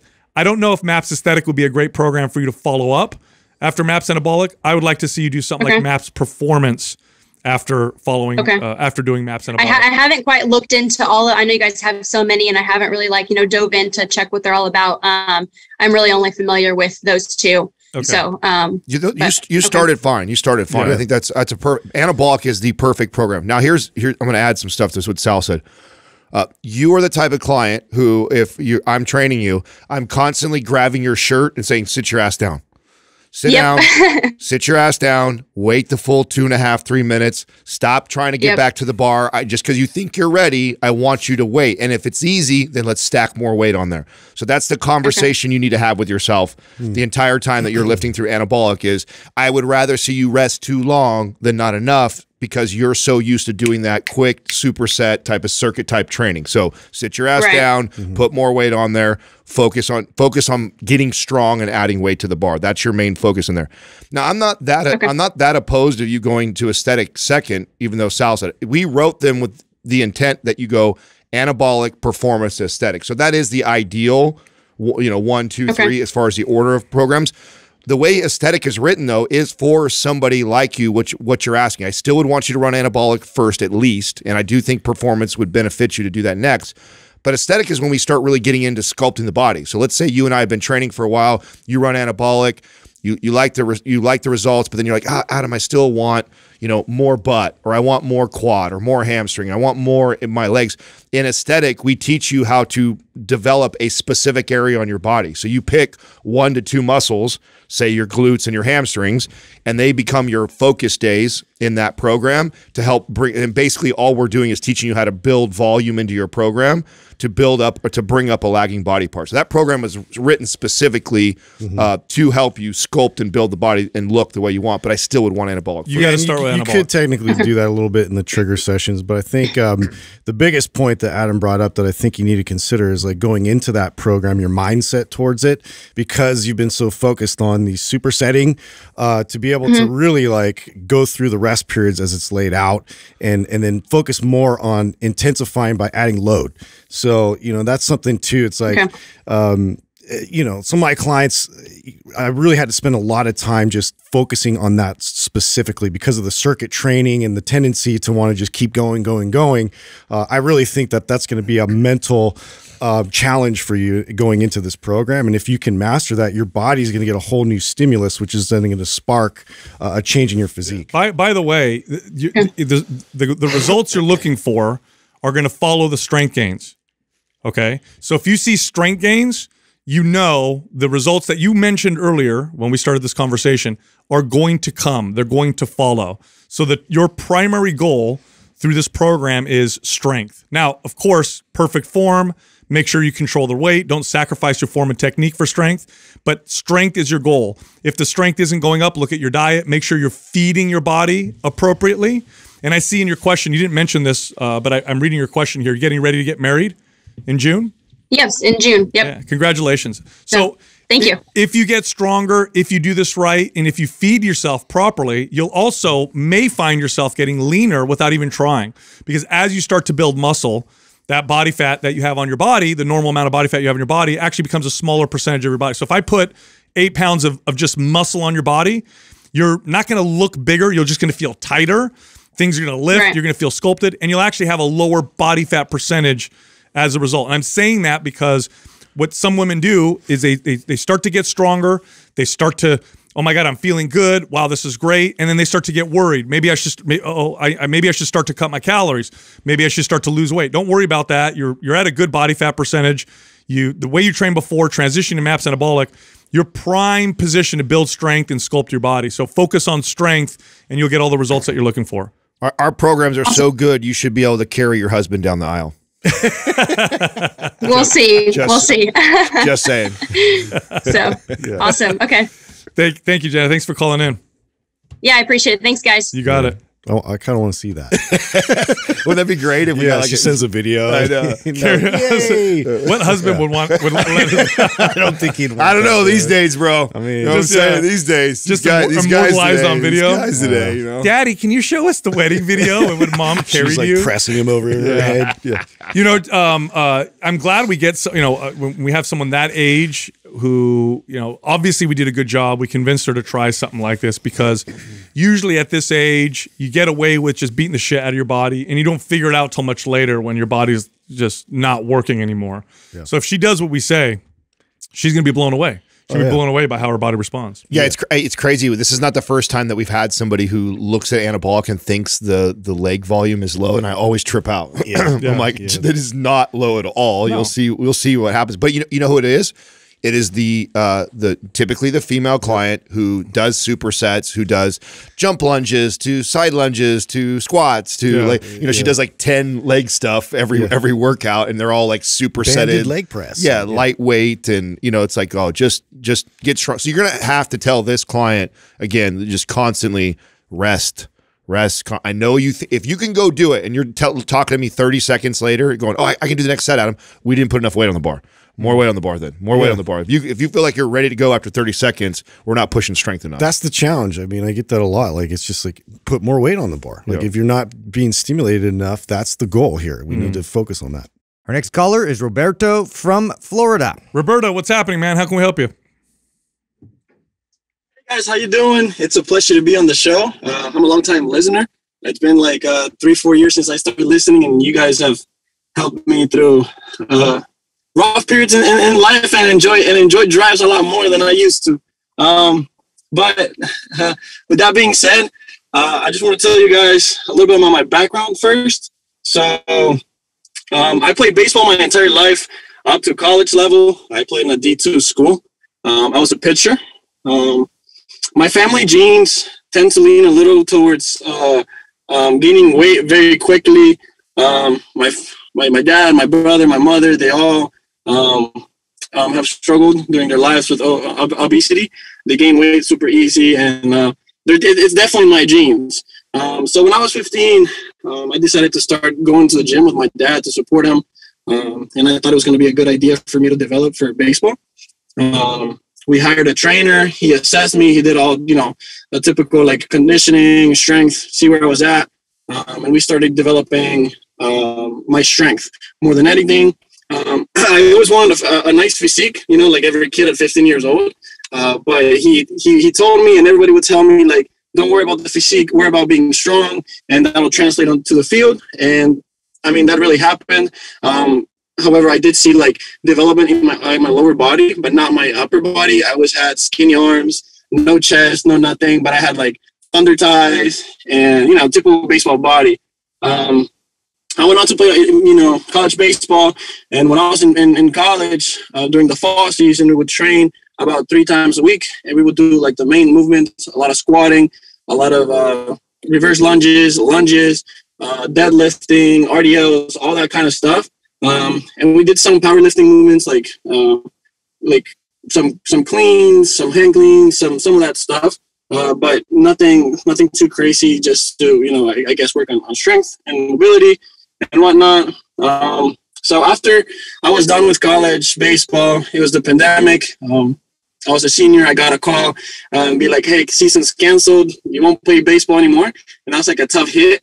And you know, the pandemic happened. I was, you know, straight at home. I couldn't go to the gym. I didn't have nothing to do. So I was like, all right, you know, let's let's start running. I fell in love with running, and I didn't pay attention to what you guys said, and I just, you know, went up to running half marathons every Saturday. Basically, I went from two, 215 pounds to 185. Um, and um, I I thought I was feeling great. I was feeling good, but then you know life started back to normal. I went to work and I couldn't keep my uh, physical activity levels up. And in a matter of a month or two months, I gained back those 20 pounds. Everything like you guys have said in like previous podcasts, like I ate and it just stuck to my body. Like I just felt like I ate like a tortilla at home and it would just go straight into my belly. Um, but yeah, so then I decided to go to, to go to law school for some reason, and um, to deal with the stress and everything, I I I was just like, okay, let me just invest some money. I got my uh, MAPS anabolic, and I've and you know it changed me completely. Um, I, I before starting it, I decided to go to a little cut. I went because I had gained some weight. So I was at 205 when I started, and by the end of MAPS anabolic, I waited at 225, looking lean. My my upper body developed like never in my life, like nice looking shoulders, biceps, triceps, and everything. Um, so I was super into it, super happy with the results, and I said, okay, let's let's put it, uh, you know, a step forward. And I bought Maps Aesthetic, um, but I couldn't really finish it. I did like one stage, and I just couldn't. My body was just exhausted. The stress of law school, you know, increased finals and then i started working at a law firm and my schedule was super tight and I didn't have time. So every single time I went to the gym, I went once or twice in a week and then I was just done for one or two weeks. So I was wondering if you guys had any advice on how to deal with the stress of studying, working, and having, you know, little time to to still work out and, and enjoy it and, and see some development in my body. Yeah, good question. You know, we just came out with a program that might actually work really well for someone like you. Roberto, do you think it would be easier for you to do a short, like 15, 20 minute workout a day versus two or three hour workouts? Do you think it would it be easier for you to find like 15, 20 minutes a day versus, you know, carving out an hour a few days a week? Yeah, casually, I was listening to that, to that episode yesterday and I was thinking, this sounds like something I would really enjoy because um, I think I could like wake up 20 minutes earlier, you know, get a, a get a, workout in because I just got my I got a, my own home gym, so I could wake up, do 20 minutes, and if I'm feeling better, then come back at home, do another 10, 20 minutes, a couple other reps, and that feels like something that I that I could enjoy more than putting an hour into yeah. a workout every day. It's just yeah. really hard. All right, I'm going to send you Maps 15. There's two versions in there. One is with the suspension trainer. The other one's a little more advanced. It uses a barbell. So I'm going to send that to you because I think that'll work better for you. As far as the stress is concerned, you know, exercise is a stress on the body. So if your if your life stresses go up, your body's ability to adapt to the eh, the stresses of exercise goes down. So you have to modify your workouts based on the context of your life. So your your workouts need to improve the quality of your life. Meaning as your life changes, so do your workouts have to necessarily change. Keeping the workouts the same all the time while life changes means that there's going to be periods where you're going to feel good and then there's going to be periods where you're going to burn out and you can't stick to it. Maps aesthetic is way too much volume in, in a case like the one you're telling me. I think Maps 15 would be perfect for you. Mm-hmm. Now, here's the challenge you're going to feel really good and you're going to have a lot of energy doing Maps 15. And you may have the, the, the following challenge where you say to yourself, oh, I feel like I could do more. I feel like I could throw more at my body. I want you to fight that urge because what you don't want is you don't want to put you don't want to feel exhausted all the time. What you should feel is energized all the time. If you feel energized all the time, then you know that your workouts are complementing your life and what that means is you're going to get better results. You'll get better results ultimately over doing a workout that's too intense or too much volume. Okay. So we'll send that program. I think that'll be perfect for you. I really appreciate you guys for, for doing that.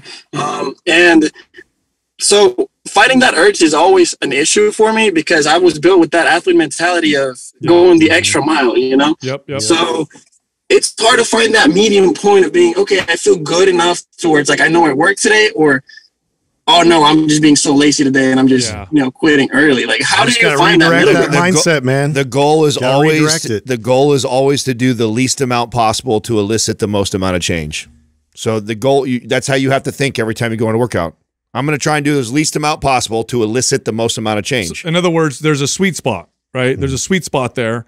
And now now the athletic mentality uh, that you that you learn playing sports where you push yourself beyond the point that Adam just said has value in competition, right? And war. And, and war, like so. So we'll we'll interview, uh, you know, people who were soldiers, for example, and they'll talk about the training that they went through. The training in the military, for example, or in high level sports, part of it is to get your body ready, but a lot of it is to get your mind ready. Yeah. Because when you're in battle or when you're in a in a in a competition, you're not you're not. I'm not competing to maximize my body's recovery and adaptation. I'm trying to win, right? And oftentimes the side that wins is the side that can persevere and push through you know when your body and your brain are telling you lay down and give up right but this is not what we're talking about what we're talking about right now is your life yeah. your lifestyle in fact you're going to law school right now so why don't you can apply that towards law school? Because I know I look, I have family members that are lawyers, and I know when they went to law school and what that looked like. And a lot of that is very mental. A lot of that is very challenging. So the way you got to look at your workouts for most of your life, there's going to be periods of time when you could take your workouts and push yourself and, and, and challenge the mental aspect, and there's value there. But the majority of the time, your workouts need to improve the quality of your life. And if you're constantly pushing your limits with your workouts, then you you're probably going to be compromising the quality of your life, especially if you do it all the time. You can still utilize that same mindset. You just have to push it more towards being disciplined about doing this to the point where it's going to benefit you. So now think of it as you're you're you're trying to figure out that ultimate um, optimization in terms of like how your body is going to you know thrive going forward. So i had to to redirect and reframe this a lot being an ex-athlete uh, coming in. What's going to be best for my body now? I have to be disciplined about now finding that sweet spot. I do think i can do more but now i have to change that mentality of you know more is better and more intensity and you know i have to i have to like you know go through this this this crazy workout to be able to get any benefit which is not true that's not benefiting you anymore because of your life stress and everything else that you're you've accumulated so now it's just like you know taking that same type of athlete mentality and applying it towards like this is the plan now I, I love I love coaching athletes. Just you just need to shift your competitiveness. Stop being competitive with your workouts and trying to beat the shit out of yourself. Be competitive with your sleep routine. Be competitive with your diet. Be be competitive with your recovery. Like get get competitive with those things. Don't get competitive with can I can I kick my ass inside the gym all the time. Do that. it's just hard because uh, you know I, I- like that feeling of you know get, get having weight in the bar you know and then sometimes when i feel like okay this is maybe lightweight i just try to like i like that feeling of, of feeling i guess powerful in Yeah, a way I'm, I'm sure you guys can relate so Yeah. it's just hard to keep Listen, myself back to Listen, it listen Um, you're, you're talking to three guys who struggle with this all the time. Uh, we, we work out all the time. This is my constant battle. But look, there's the right dose of exercise. The right dose is the one that gets you the most, the best results. And then there's the most that your body can tolerate. Those are two different things. There's how much you can tolerate healing or adapting and then there's also what's going to give you the best results. And there's a little bit of value in sometimes pushing yourself to what you can tolerate. But what you're what you're saying right now and the way you're describing your lifestyle, I think you need to train more often right now in the right dose. And the sound and the right dose feels like this. I have a lot of energy. Man, I feel really good. I feel energized. My joints feel good. This is awesome. That's where you need to feel. What you don't want to feel right now is man, I feel like I just survived a battle. Oh my God, I crawled out of the gym. Like, yeah, every once in a while, that's a good feeling, but you do that enough times. And the rest of your life, the quality of your life is going to go down. You're not going to be able to, go, you know, go to school the way you want to go to school, and then you'll find yourself skipping the gym, or your performance will start to decline. You actually start to lose the progress that you gained. Plus, it'll probably open up again. This is a season of life that's different. So just you know, treat it that way. You know, uh, going forward, you might have a completely different scenario in terms of your environment, like where you can get after it a little bit uh, more intensively, and that's totally fine. Uh, just right now, you have to be smart. I appreciate you guys. And before I leave, what would you guys recommend in terms of eating? Would I would, would should I try to just maintain like I know like I, I maintain usually like twenty six hundred calories. That's like my like maintenance level. Um, I feel a little like uh, overweight, a little chubby right now. I would like to cut down, get a little lean. Should I go on a bulk or should I try to cut down You my know, calories I- with this new program? I think if you trained properly and stayed at maintenance, you may see your body composition change a little bit. You can go on a little cut, but I'd be careful with that because cutting is also a bit of a stress on the body. So you can do that, um, and the way I would do it is I would do like these mini, these these short periods of of a cut followed by maintenance. So you know, twenty four hundred calories for a few weeks, then go back up to twenty six or twenty seven hundred calories for a few weeks. So just kind of make it a slow process. So you don't over stress your body while you're doing all the stuff that you're trying to do right now. All right, perfect. I appreciate you guys. You got it, man. We'll send you MAPS 15. Thank you so much. All right, buddy. All right, man.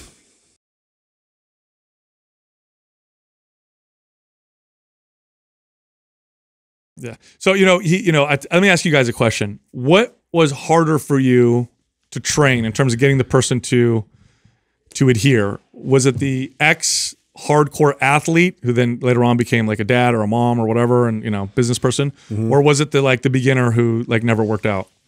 Yeah. Well, I, I would say the athlete, but I, I would say more specifically like the type A person, right? That just wants to put everything on their shoulders all at once. So hard. To talk them out of doing everything at once is really difficult. And when you have that gear that you you that skill of the like pushing yourself, it's so hard to not be in that gear all the time. You know, when I would train people who were athletes like that, it was like constantly like pulling them back, pulling them back, pulling them back.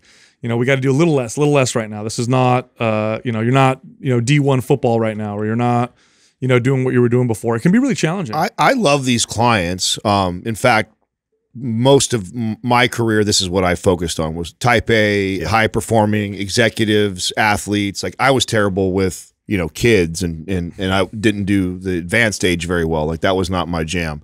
I love this because what you have to do with someone like this is you just got to get them because what they have incredible discipline and mm-hmm. and they're they're, they're highly motivated people. You just got to get them to shift away from what they have trained themselves to focus on for so long. That's the challenge. The hurdle is that he's convinced himself that he loves that feeling. He's convinced himself that this is this is what gives me good results. When I trained hard for my sport, I got this. It's just like okay, if I can just get you to be that way and get competitive with the, your sleep routine, or get competitive Yeah. with how you recover, Just or direct get, it, right? or yeah, or get mm-hmm. competitive with your diet, and that, and so that's all I'm speaking to. Like I'm not, I'm not even going to waste my time really talking a lot about getting after it in the workout. I'm gonna, I'm gonna hold him accountable every day I see him on those things, and when, and then I'm gonna talk shit to him, which is what I love about someone who's like a high performing athlete that you can kind of talk shit. Like, don't come at me with your, I don't care about your workout that you're adding weight right now. You can't even get your sleep routine right. So I'm gonna, I'm gonna push them and push that athletic mindset in the areas that I think are going to serve him best. And so once you could get them to make that switch, then they're very successful. They just got to get out of that mindset of beating themselves up in the gym is what's serving them. Our next caller is Michael from Maryland. Michael, what's happening? How can we help you? Hey guys, uh, thank you so much for taking the time to answer my question. Uh, first off, I got to do the thing. I got to thank you guys for everything you do. Um, you provide an invaluable service to the space, so thank you for that. Um, so my question is in regards to my mother. Um, she's 66 and she wants to start getting into strength training um, for her health as well as her as well as her quality of life. Um, I'm proud of her for that decision, and I want to help her reach that goal. Um, so she came to me for advice. I, I like to think I know what I'm doing. I've been in the fitness journey for a while, but I don't know enough about that topic, hence why I'm coming to you guys. Um, so she's mentioned that she wants to get a personal trainer from any gym close by. And I kind of warned her in a way, like, hey, don't just get any trainer. They may not have the best experience with that uh, that age group, or they may go too intense or too hard and I don't want her to get injured or lose, you know, get discouraged right away because how intense it is. Um, so my question really is, do you guys have um, any recommendations or best approach for her situation, or do you guys have a program um, that you would think would be best for her to really help her get all the benefits of strength training? Yeah. Well, Yeah. I'll, I'll send you. I'll send you. I think MAPS Starter, uh, Yes. which would be a great Yes. program. That being said, Michael, um, nothing is going to be better than a really good trainer or instructor. But what's cool is that he you haven't hired the trainer yet. So I love when we catch somebody before because Yeah. then what I would do is we're going to give you that program. When she Right. goes into the gym, that's part of the deal of of me hiring you. So in other words, like she is that we got to follow starter. And because you're paying Right. money, because here's what's tough. If you already have a trainer, like people listen to our show and they're like, "Oh, I hired this trainer for six months, and they're they're doing this, and you guys say this, and it doesn't seem like it li- aligns." So, how do you think I could give them your program and no, that never works. They get all pissed, and it, because they've already the contract's already been done. But you walking into it or having or helping her walk into the situation, say, "Here's the deal." I, I want my I want my grandmother to go through this this training program. It's his mom. Oh, sorry, your mom. I want my mom to go through this training program, and I've already purchased it. Can you can you, can I hire someone that will help her follow it? And if you present it like that, then the and by the way, when you go to a gym, ask for the manager. So go directly to the manager, ex- Yeah, explain Right. explain exactly what you're explaining to us, and say, hey, I'm looking for someone who's going to take care of my mom. And who's your best trainer? And I have a program I want their I want them to follow. Can I talk to them or can I hire them? And then and then you'll be fine, dude. Michael, I, I had uh, the pleasure of working with a, an exceptional physical therapist, um, and she did really, really good job working with people in this age group. And then later on, this became something that I became specialized in. And one of the the learning curves that I had to go through was realizing that you know resistance training really is just working against resistance, meaning it doesn't have to be weights or machines. It can even be just body weight. Like for example, you could you could test your mom out with like this, okay? Can she stretch can she reach directly above her head with her arms without having to arch her back where her arm is right next to her ear? Well, if she can't, one resistance training exercise may be to really just try to reach and extend her arm. To give you an example, right? Another example would be, you know, hey mom, let's have you stand up from a chair and then slowly try to sit down. So you don't fall down in the chair, but you're controlling descent. The other thing that I learned was the the intensity required to elicit change is very low in somebody that's deconditioned and older. Like anything above and beyond what she's used to is going to elicit change. Your mom should not get sore after her workouts, or if she does, it should be very minimal. Okay, so if your if your mom comes home from a workout, like, oh my god, I'm so sore in my legs. They went a little too hard, and it's it's better to ear to err on the side of easier than it is to kind of overdo it, especially when you're dealing with someone uh, in this particular uh, case. Now, here's the questions that I would ask the the the co- the trainer that you're you're you know looking for for your mom. How many Right. people do you work with that are in advanced age? Um, do you do you have any uh, correctional exercise experience or certification or education? Those are two very important things because those people, people have lots of experience working with people over the age of 60, people who really understand correctional exercise. They're going to approach training your mom properly. Even if they use MAPS Starter, a trainer could train your mom too hard with MAPS Starter. They could push the intensity too hard with her right out the gates. So even though the exercises may be appropriate, they may use uh, an inappropriate level of intensity for your mom. Your mom should leave the workout feeling good, not like she got beat up. Well, and you could call the GM or the or the fitness manager of that gym and literally ask that exact question to them and say, "Who's your trainer with the most who's the experience with the most experience with advanced age? Who has the who's a correctional specialist or physical therapist background? Do you have one?" And then whoever they recommend, then you go in and meet them, and then do exactly what I said with the MAPS starter thing, and you should be fine. Yeah, and I, I, you know, literally two days a week for your mom would be fine. Even one day a week, she would start to see lots of strength gains, and then move to two days a week, and then beyond that, she wouldn't need a whole lot more aside from like additional activity like walking and stuff like that. So Got you. She already actually does that. She walks every day a couple miles. Um, but yeah, I, I, she's starting to get into that resistance training aspect. And, um, you know, it's funny you mentioned all the, uh, you know, like the, the sit downs and get ups or holding something over her head. I did actually have her start to do that um, and see kind of her mobility. And her mobility is not that great. Um, so I guess a follow up question to that would be like, you know, would you recommend maybe starting just with like Prime or Prime Pro to get her range of motion ready for starter? do you think starter is is you know a beginner enough level that she could kind of just jump into that and take it no, slow? so, so here's what a good trainer will do, right? A good trainer will look at starter and modify it to fit your mom. So to give you an example, let's say one of the exercises is a seated overhead press with dumbbells. Well, if your mom can't extend her arms over her head with no weight, well, guess how we're going to do the the the seated press? No weight. right. I'm going to have you hold your hands out with no weight and then lift your arms up and try to straighten your arms out without overarching your back. And that becomes the exercise, right? Let's say it's a it's a seated row. Well, when we're doing the row, if if she can't pull her shoulders back very well without resistance, well, I'm going to add the most minimal resistance. I'm going to give like a really light band, and then I'm going to focus on that end point where I'm really squeezing the shoulder blades back. So a good trainer will be able to take that and modify it to fit your mom. and a bad add trainer will take that. of, of mobility exercises. So that that's the thing. That's that's kind of where you need the coaching to come in, and you're you're hoping that you have somebody with experience to be able to spot those things out, so then they could you know take some of those things that they notice in terms of imbalances or uh, dysfunction and be able to work on that and and have that something that she can incorporate on days that they don't meet. Um, and then also still work uh, progressing forward towards learning how to to properly resistance train. So, um, you know, uh, really that's going to amount to to the right coach fit. Yeah, you should be able to find a trainer that has a, either a physical therapy background or a correction, correctional exercise specialist background and five years And experience working with people yeah, with this age group. advanced age, and they're they're going to do a good job of that. They're going to see no no one with that experience is going to see her do a shoulder press and then make her keep doing it. They'll see it and be like, oh, we're going to have to do this instead. We'll do some corrective work. So.